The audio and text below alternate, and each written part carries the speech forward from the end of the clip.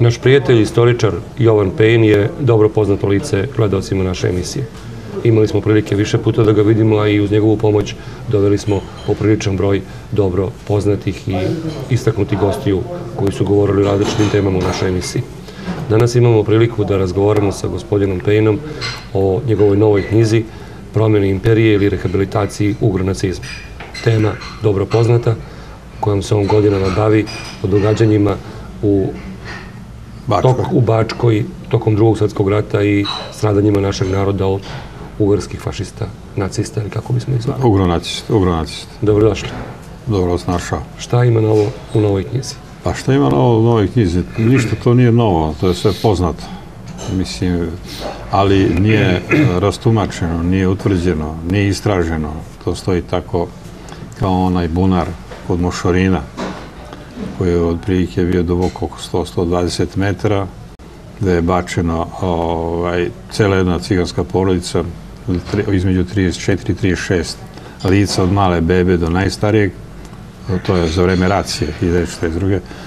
I, a pored toga je još stotinak Srba, mošarinaca bačeno taj bunar koji je ostao tako ovaj, neobeležen koji stoje nekoliko betonskih stubova okolo i jedna bodljikava žica, to je sve oko tog bunara. Posle rata je taj bunar bio zatvoren, stavljen je, stavljene su bagremove grede i jedno metar i po, dva zemlje nabacano na te bagremove grede. Umeđu vremenu te bagremove grede su propale.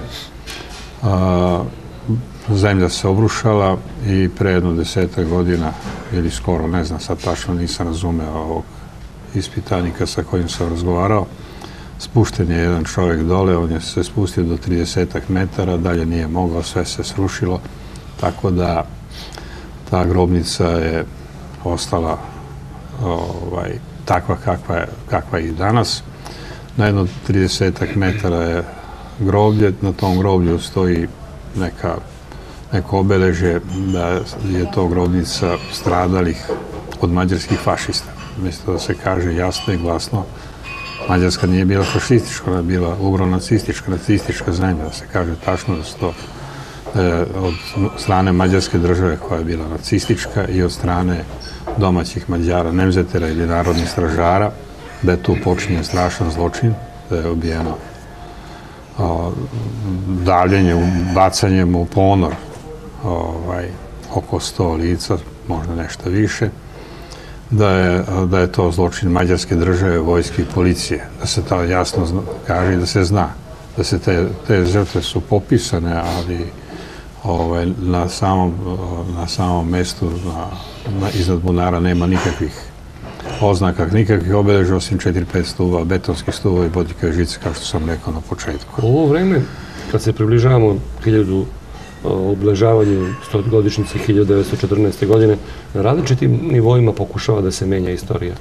Pa to postoji čitav trend, naročito na, u Nemačkoj. Nemci koji su izazvali dva rata i to je nepobitno utvrđeno, ne samo od nas, od naše srpske historiografije, to je utvrđeno i od strane francuske, britanske, američke, znači i sovjetske, odnosno ruske, znači od, a i u samoj Nemačkoj postoji stav a, da su Nemci izazvali i prvi svjetski rat, a drugi svjetski rat je bio samo produžetak prvog.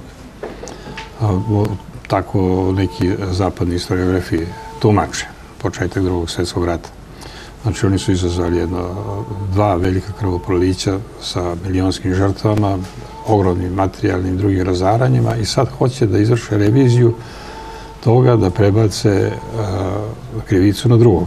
Srbija je bila mala, šta je imala 3 miliona stanovnika, da, toliko. Šta je ona izazivala Austro-Ugarsku koja je imala dva, uh, 52 miliona? Mislim, to je absurd. Ovaj, da bi ona napala Austriju, ali je morala se pripremiti za odbranu od Austrije. Austrija je ušla u Bosnu i Hercegovinu, znamo, 1878. godine, a 1908. godine je proglasila aneksiju koju ni sami, njihovi parlamenti nisu priznali. Ovo, nije evropske sile, neke nisu priznale. Mislim, to je bilo jedno stanje, ni okupacije, ni države, ništa u Bosni i Hercegovini. i ovaj, Srbiji u Bosni i Hercegovini sve tri vere, sva tri zakona, kako bi rekao Vuk Karadžić. Srbi pravoslavni su bili osnova, a ovi drugi koji su sećali svog porekla i svog jezika, priključili su im se, osnovali su mladu Bosnu koja je bila prevashodno književno udruženje, ali ovaj, negovala je nacionalnu ideju i iz te mlade Bosne jedno krilo se opredelilo da likvidira zoružanu borbu i da likvidira, likvidira Franca Ferdinanda koji nije bio ni malo popularan ni u Austriji, ni u Nemačkoj, ali eto, trpljenje zbog svoje grandomanske ratne politike, a pored toga želeo da izvrši reformu Austro-Ugarske, da Mađarsku, odnosno Ugarsku, da podeli na četiri dela, tako da bi ono što bi ostalo kao Mađarska bilo bi mnogo manje nego današnja uh, Republika Mađarska. I možda postoji mogućnost da su uz pomoć, da su Mađari ovaj, tole, tolerisali ovaj, atentatore i da su im omogućili taj pristup da mogu da ubiju ovaj, Franca Ferdinanda, što je odmah posle atentata bilo i izražena sumnja. O tim povodom naročno grofa Tisu se sumnjalo da je znao, ali do danas taj problem ne istražen. Ja u ovoj knjizi ne zalazim u reviziji istorije, ja samo pokušavam na osnovu arhivske građe koja se čuva u našim arhivima, odbacim e, tvrdnje nekih e, mađarskih istoričara da je Jugoslavija, odnosno Srbija, da je izvršila genocid u Bačkoj nad Mađarima. Oni tu, Mađari tu licitiraju neki mađarski istoričari i političari, mislim manjinski političari, licitiraju uz pomoć uh, istoričara iz Mađarske između 20 do 80 hiljada ljudi da je bilo, da je stradalo u Srbiji 44-45. što je daleko od istine. Prvo, 1944. godine, posle svih onih dešavanja, ulaska ugarske, mađarske vojske u, Jugoslaviju, pa onda racija januara 1942. godine, kada je bilo kada je zavladao opšti pokoj, onaj prvi je bio nasumice 1941. ali drugi je bio pripreman od strane mađarske države, vojske i policije. Ne znam koliko je bio Horti, Mikloš Horti, da je nađbanja diktator mađarski upoznat sa tim, to se krije, verovatno je bio upoznat, jer ne bi on reagovao da ovaj, da nije znao da se spase jedan njegov, jedno njegovo kunče koje je ovaj, ubijeno, Srbin je bio, pošto znamo da je on bio, Horti sad pravi digresiju, bio admiral da na brodu su bili i Srbi oficiri, mornarički oficiri i jedan njegov prijatelj, mislim da se prezio Novaković, kada je dobio dete, Horti ga krstio. Tako da je bio kum i treba da spase ovaj, tog, tog kumča, ali je intervencija zakasnila tako da nije. Znači da je znao šta se dešava u Novom Sadu, Šajkaškoj i tamo Žablju, Titilu, Mošorinu, Kaću, Čurugu. Čurug je posebna ovaj, priča. I ovaj, taj zločin nije rasvetljen ni kod nas, Mađari ga zatrpavaju, neće da znaju. Znamo da je izašla jedna zbirka dokumenta što su zajedno spravili Vojno-istorijski institut i Mađarska, ovaj, Mađarski voj, arhiv, vojni arhiv, ali u tom, to, toj knjizi nema ni pomena o ovim zločinima. To je uglavnom nešto neutralno. Koliko je to otprilike Srba ubijeno u tim Pa odmah posle rata prema onoj, prema prvom izveštaju oko 50.000 Srba je ubijeno. Od 46. godine što je izašao jedan zbornik radova na tu temu. U stvari to je izveštaj zvanične komisije za utvrđivanje ratnih zločina okupatora i njegovih pomagača. Međutim, sad imamo opet jednu komisiju koja je to dosta Ja ne znam, ovaj, ne smijem da dam neku oštru ocenu, ali čini mi se ipak da to traljavo urađeno posle 70 godina. Oni su popisali ovaj, sve žrtve i mađarske i nemačke i srpske. Srba ima najviše, najviše Srbi stradali, zatim Nemci, onda na kraju Mađari. Ali mislim da, da je taj popis neujednačen. Trebalo bi ipak biti oprezniji ovaj, u analizi tih podataka koja je taj popis dat. Drugo, to nije štampana knjiga, to je ostalo još uvijek u elektronskoj formi. Izgleda da ne smije da štampaju upravo zbog reakcije javnosti, pogotovo srpske javnosti koja smatra, naučne javnosti, da prvo prevashodno mislim, koja smatra da taj popis nije urađen kako treba. Nažalost, radi se pod pokroviteljstvom Srpske akademije nauka i mislim da tu nije urađeno, da, nije, da nisu odobrani pravi saradnici za taj posao iz nekoliko, znate, ostalo drugo ne se ne tvrdim. To, to je Srpsko-Mađarska komisija. Da se, vratimo, Mađari, da se vratimo na vašu knjigu. Da se vratimo. Uh, ovde ima, kažete, uh, dobro poznatih stvari na novi način. Ne na novi način. Ja sam ovde uzeo, iz, radio sam čisto pozitivistički. Znači, pristupio sam arhivskoj građi. Odobrao sam arhivsku građu ovaj, koja najviše govori. Objavio sam jedan izveštaj iz 1942. godine, nastao neposredno posle pokolja, kada je let počeo da se topi. Izvinjavam se. Kada je let počeo da se topi, kad su leševi koji su bili, ljudi koji su bili... Upozorimo samo čitaoce da ima stvarno... Ima jezivih fotografija. Koje su stvarno jezive.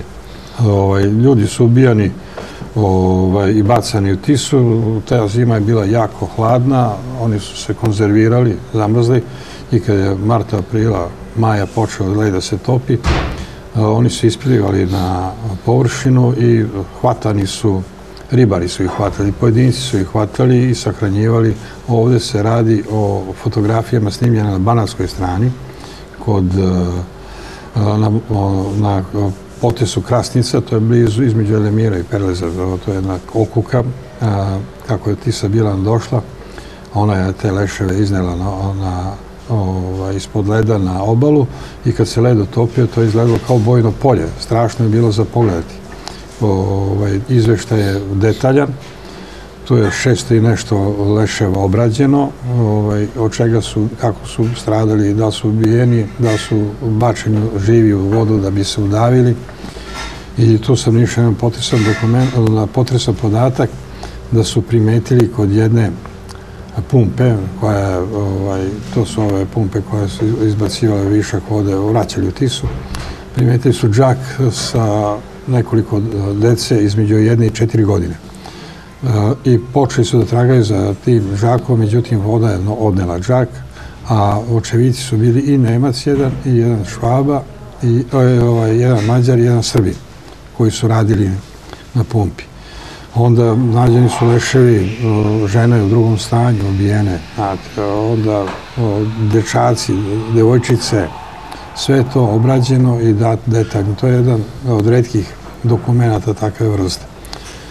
Ovaj, pored ovoga, ja sam koristio istražne materijale arhive BIE, Bezbednostne informativne agencije. Ja mislim da sam među prvima to ovaj, istražio tamo tačno ovaj, pohapšeni ratni zločinci pre nego što će biti predati sudu, kažu šta su radili, gde su bili ovaj, i, na primjer, potresan dokument koji govori o stradanju Srba u Srbobran.